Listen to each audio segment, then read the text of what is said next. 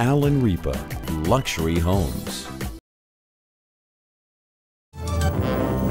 Wewak, Nubia, Hansa Bay, Alexishafen, Madang,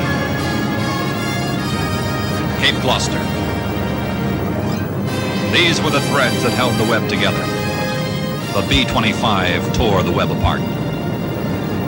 The Japanese Imperial Army was heavily dependent on shipping for its survival. The B-25 made war on that shipping. The combination of 75 millimeter cannon and the 50 caliber machine guns delivered a one-two punch that was devastating.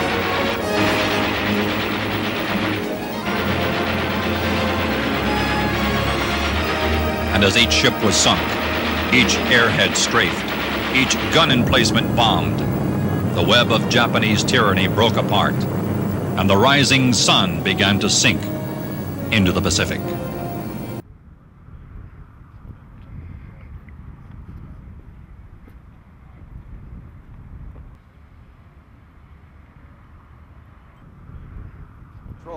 He said, Jesus Christ, Lieutenant, the whole right tail section and rudder's gone.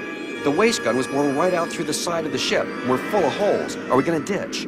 I told him, hell no. I can't.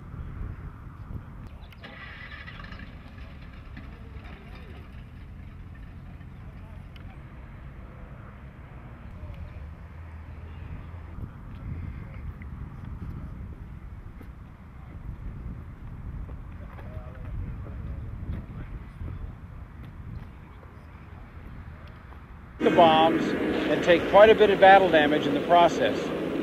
And its inherent lack of bad characteristics allowed pilots to skim through enemy flak right on the deck without fear of losing control or getting outside their capabilities.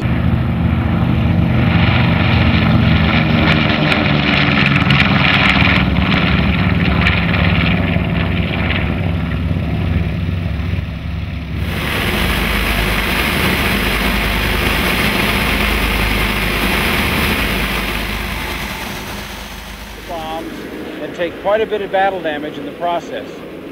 And its inherent lack of bad characteristics allowed pilots to skim through enemy flak right on the deck without fear of losing control or getting outside their capabilities.